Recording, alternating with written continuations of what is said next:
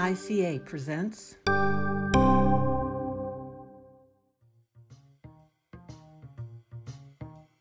Hello, and welcome to the Ask Us Anything podcast brought to you by the International Communication Association. My name is Mary Beth Oliver. I'm the current president of the ICA and a professor of media studies at Penn State University. This is the first installment of Ask Us Anything, where we talk about issues that face us as academics, as students, as scholars, and as mentors. For our first episode, I've invited four guest speakers to join me in discussing our first topic networking. So now we'll briefly introduce ourselves. Hello, um, my name is Arienne Ferchaud. I'm an assistant professor in the School of Communication at Florida State. So, still early career, but I've been a member of ICA since 2014. So, I've met lots of people and have done my share of networking. So, excited to be here. Hi, uh, my name is Minjie Li. I am an assistant professor from the University of Tampa uh, I research multicultural advertising, brand activism, and uh, media diversity. And uh, I am an early career, uh, like Arienne, I'm an early career um, junior professor, you know, also done my share of networking. You know, there are good story and bad story. Just wanted to be here to share that with uh, everyone here. Hope it's helpful. I want to get back to that bad story one too, because these are the kind of things that we need to share. Oh, I have tons. okay, okay. I'm Angharad Valdivia. I am a research professor at the Institute of Communications Research at the University of Illinois. And I am also the chair of the Department of Latina Latino Studies. I have a long-term engagement with ICA since I was a grad student, and I have try to network. So hopefully I have some helpful things to say. Hi, everyone. I am Jess Piotrowski. I am an associate professor at the University of Amsterdam. So I'm part of the Amsterdam School of Communication Research. Um, I am the director of the Graduate School for Communication here. And I'm also um, the director of the Center for Research on Children, Adolescents, and the Media. And it's my research on kids and media that I'm most connected to with ICA. I was a former chair of the CAM division of ICA. Um, and I have been around ICA for, I was trying to do the count. I can't even tell how many years now. So from my very, very early days of graduate school years ago, I was involved with that.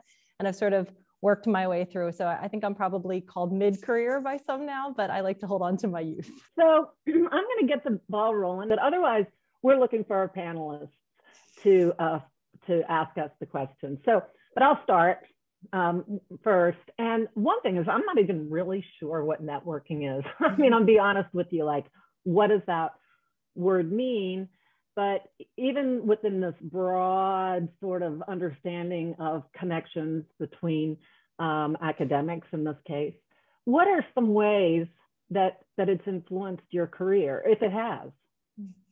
You know, I'll just go ahead and start with me. Is that um, it it actually forged the way for collaborations in ways that I had no idea would be possible when I was in grad school. It wasn't really something that was discussed. And then one, one networking and uh, with a, a, dear friend and collaborator named Anne Bartsch, um, that one thing spread to other connections and she's in Germany within Germany, you know, and it just spread out from there. And those were really turned into working, you know, collaborations on projects where we we produced papers and, and research together. and that has been invaluable because not only is it like a good friend, but it's a really productive thing too. Sometimes you just have a really nice person to see at your next conference, and it's nice for that too. But so people who are newer to ICA may not know that the Children, Adolescents, and Media Division was not always around.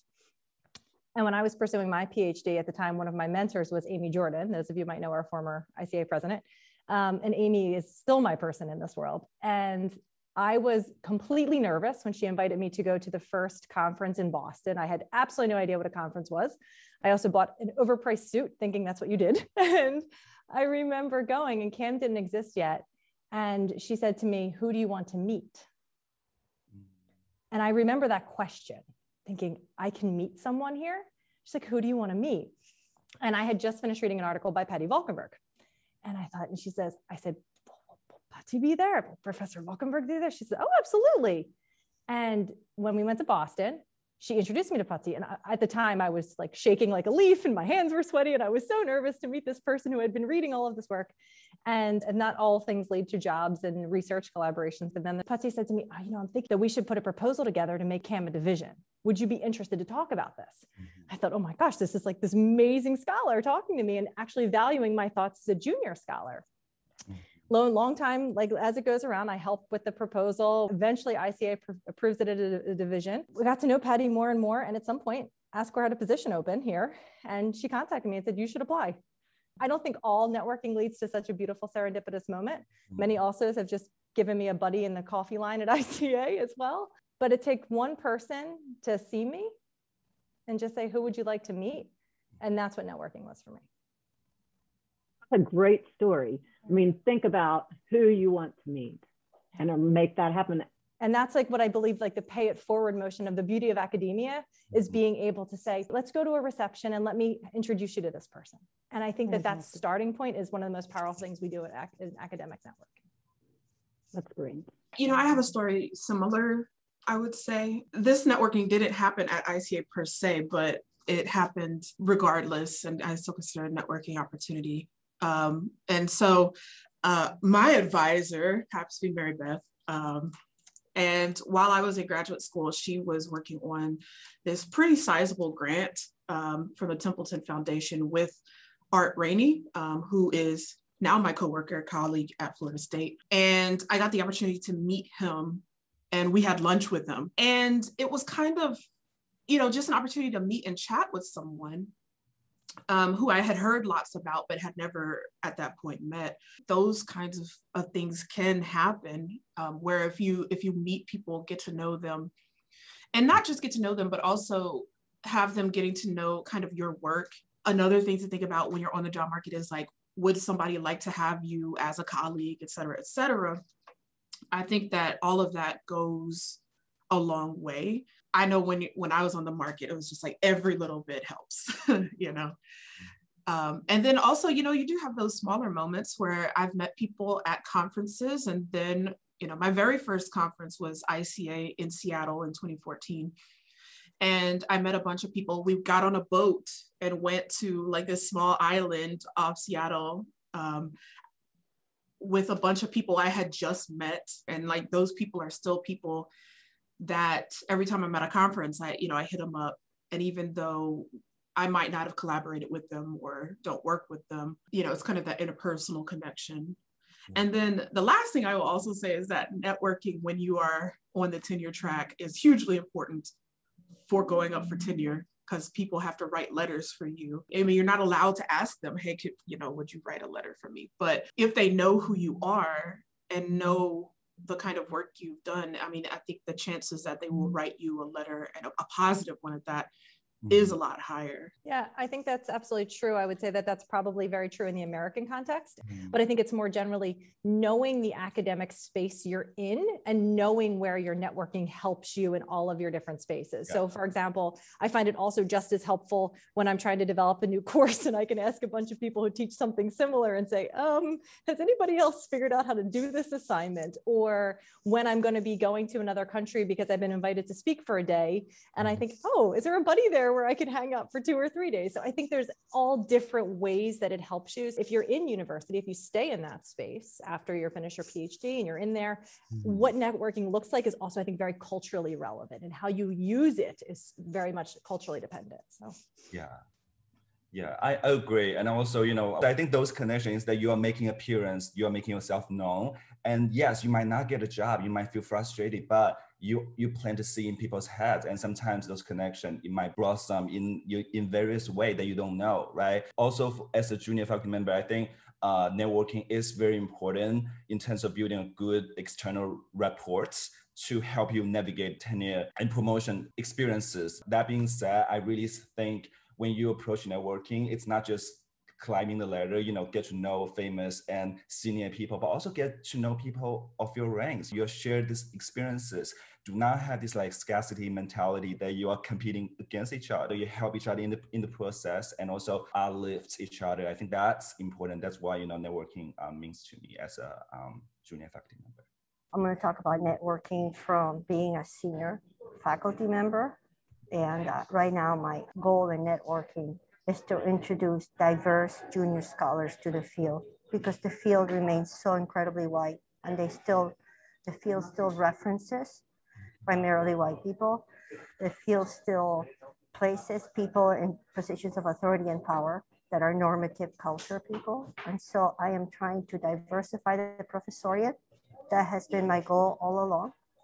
And so when I go to a conference, I want to make sure that all of my students are being introduced around to each other and to people in the field. When people ask me for panel participants, I'm trying to network my diverse scholars, whether they be my same rank, whether they be associate professors, whether they be assistant professors or whether they be upcoming graduate students. I am always flabbergasted the kind of underrepresentation that still continues to pervade our field. And so I do want to introduce my students and their incredible work.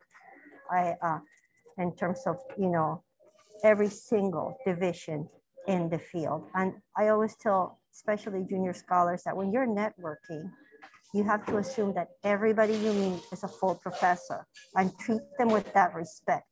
Because what happens is, again, the racialized politics, not just of our field, is that when people see a person of color, they assume they're a graduate student and they treat them as such and they address them as such.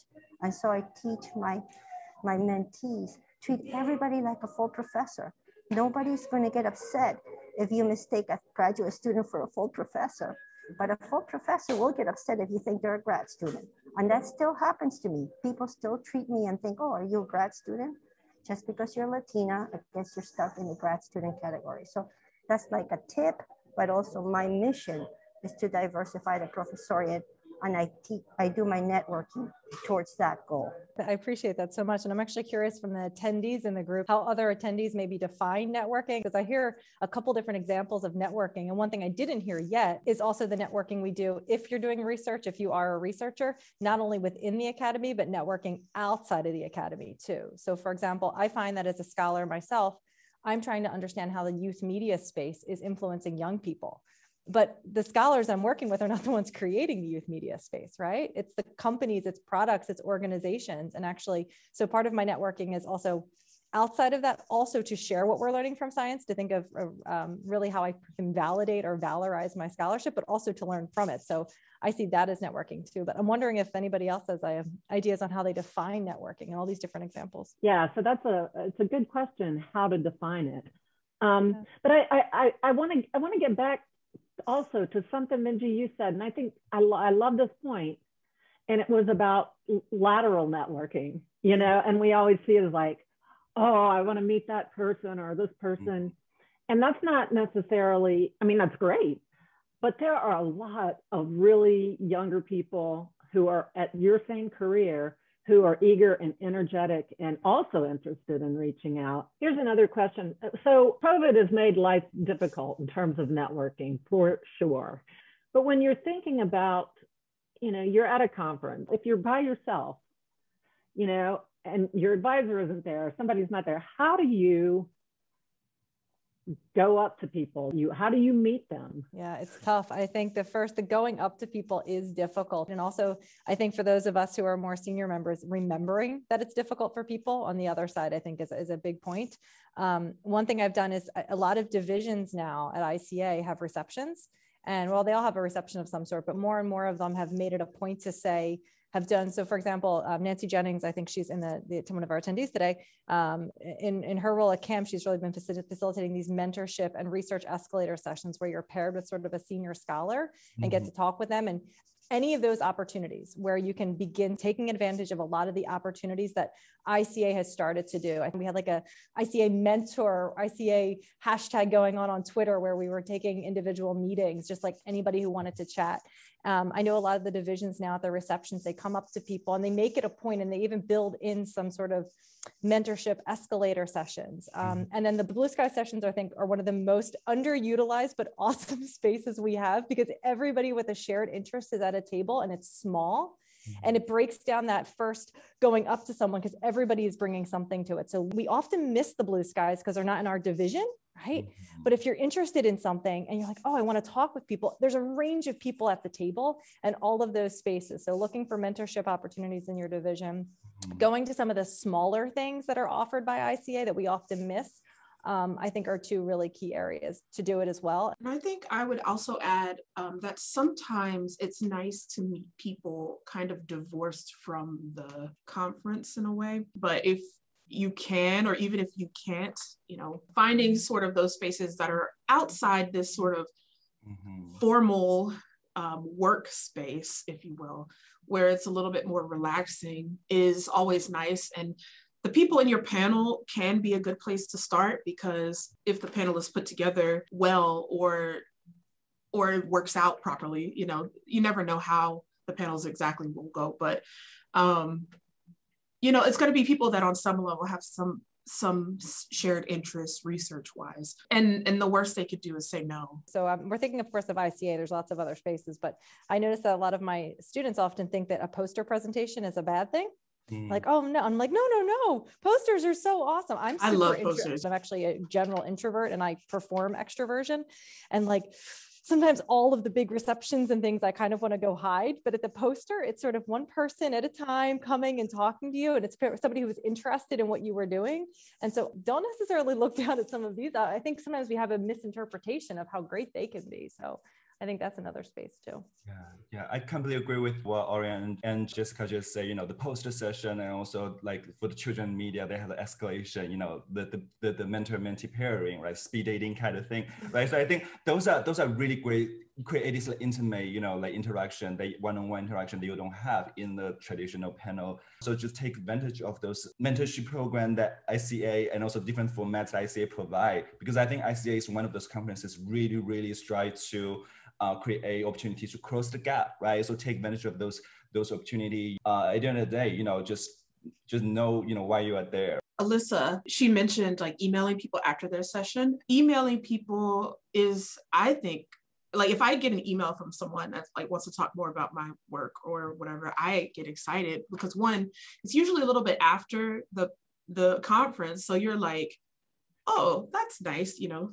But also, it, it gives you a space where you might feel a little bit more comfortable as well. So I think that that's a good point. We had a question um, from from um, one of the attendees. And this is from Rebecca Wall. How do you avoid feeling like that? I'm not good. I'm not being good enough. So do you know of strategies that might draw a good mental line to not trigger self doubt or develop a mm-hmm. distorted perception of work life balance? For me, so the most intimidating thing in the world is walking around a conference with Mary Beth Oliver um, because she's famous and everybody knows her. And I'm just like walking around with her and I don't know anybody. And they're all like talking to her, completely like ignoring my existence, which the first few times I'm like terrified, right? So it's like, I don't know anyone. I was a brand new grad student. And Mary Beth does a great job of introducing you to people. So um, it it's super intimidating, right? So it's like you don't know anyone, you're a brand new student. My first ICA, I was a master's student, in fact. Um, and I'm like, oh my gosh, like I don't know anybody. I, I, I'm like a garbage researcher. I don't, you know. And so you're like very intimidated. And honestly, for me, the only thing that helped was practice.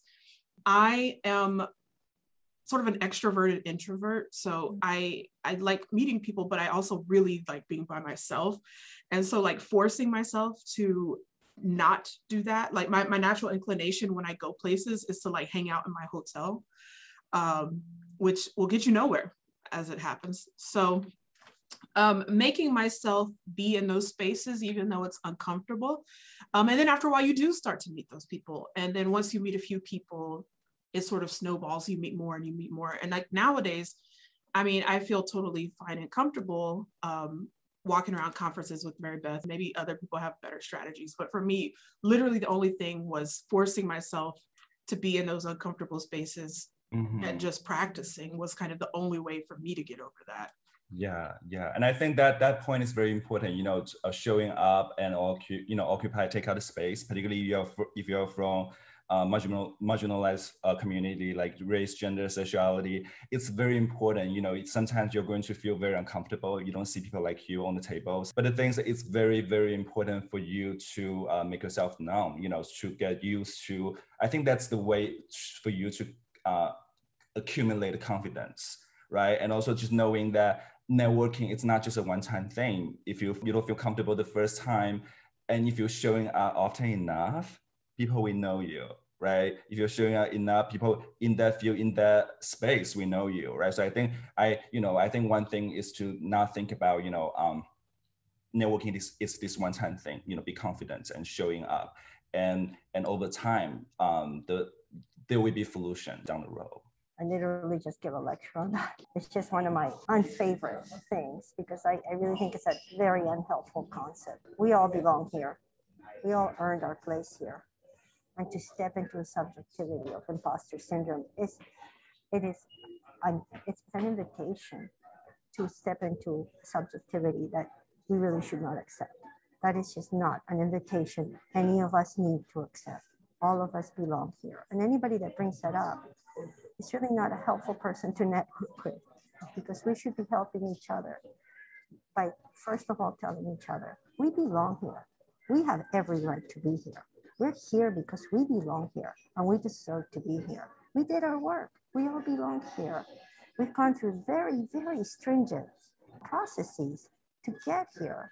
And so I really recommend to all of my mentees and people that I network with, the first thing I say is like, here we are, we belong here. Let's hit the ground. You know what I mean? I would say I have two things. One, um, I was hearing Arienne's story, and I was thinking to myself, for the senior scholars who are joining us today, we should do better. And this is not a criticism to any one of us, it's to all of us, right? Because sometimes when we are in, we're talking about the conference because all of us are ICA members. So that's our joint identity in this particular space right now. But I hear you say that. And I'm sure that I've done that. I'm sure I've walked up and saw Mary Beth and talked directly to her and didn't actually see the person next to you. And it was because we were running in between and I could justify it a hundred times over, but it was wrong actually that that's where that's where i am in that space like that's how i feel and i think that all of us who are senior here too when we hopefully get to see us together in human forms again some days maybe one of the things we can try remembering is how much we lost over the past year and a half and missing that and take two more seconds to say and this is my student who's with me right now. Just because we open those dialogues if nothing more to acknowledge our own humanity and next to each other. So one i personally will do better on that. And i think anybody else who's joining that's something we can all work on. I'm 100% certain I've been the person that did that wrong and I can do better. And so I think honesty in these sorts of spaces where we say that helps a ton to help us maximize the, the hallway conversation.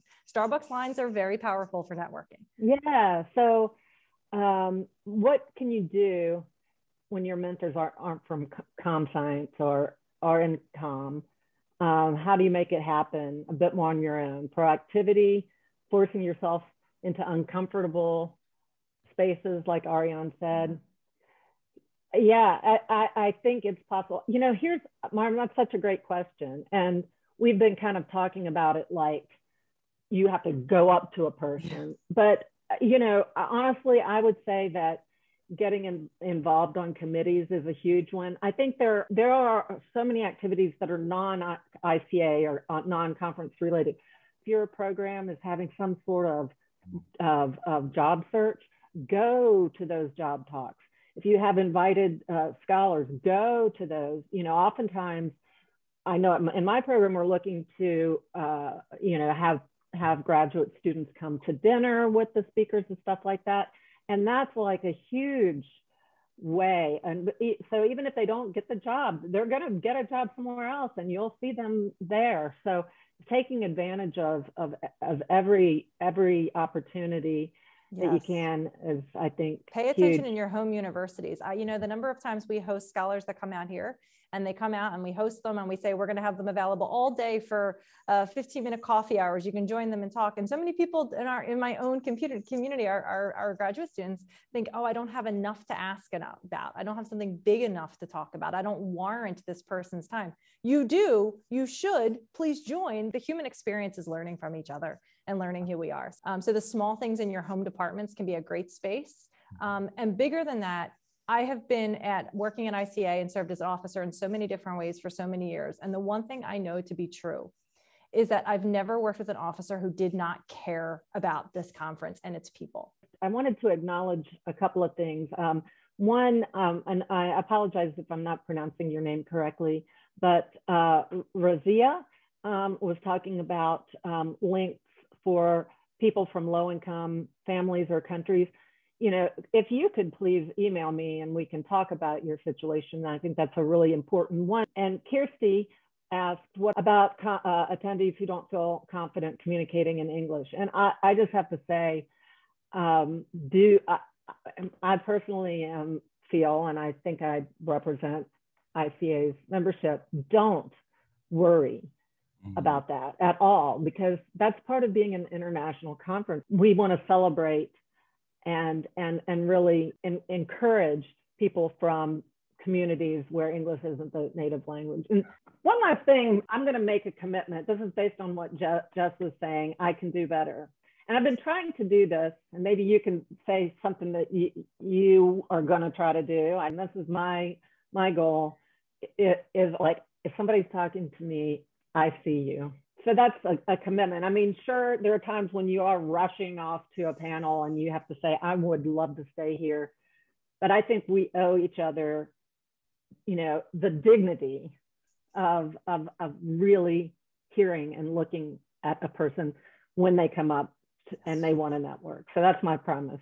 Any other promises? My promise is whoever I'm standing with, whenever I'm, I'm bringing some of my new PhD students this year to ICA, I will make sure that you are not forgotten when I'm standing there talking to someone else too. Because I, I, I like for me, I realize this is supposed to be supporting to everyone else, but I take this away so seriously. Like I find this such a powerful statement that these things matter so much, and it's easy to forget, and I'm going to do better.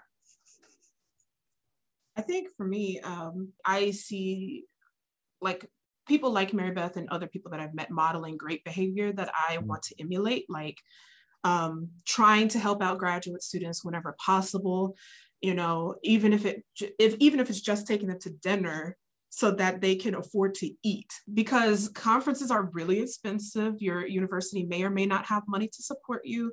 And i mean that's not a great mental space to be in. Um, so even if it's something simple like buying them coffee or buying them dinner but also um, not leaving them on an island when I'm at a conference. So I think now that I am in a position where I am a faculty member, even though I'm still junior, uh, I'm certainly more senior than a graduate student. Um, and, and remembering what it was like to be a graduate student and and helping them to network because it can be really tough when you're when you're there by yourself especially our covid phds yeah. So they might not have never Gosh, been we all able to, to go.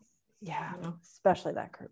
All right, this is we could go on forever, and I, I don't know. I've got all warm fuzzies here talking mm-hmm. to you, and this is really enriching. And uh, I can't tell you how much I appreciate this. Thank you for taking the time. Thanks to all of you, and um, yeah, I look forward to, to to taking up new issues as we go along with the series. So, thanks all, and have a good week. Ask Us Anything is a production of the International Communication Association Podcast Network. Our producer is Maria Caminillo. Our production coordinator is Nick Song. Our executive producer is Aldo Diaz Caballero. The theme music is by Vladimir Podobnik. Please check the show notes in the episode description to learn more about me, my guests, and the ICA. Thanks for listening.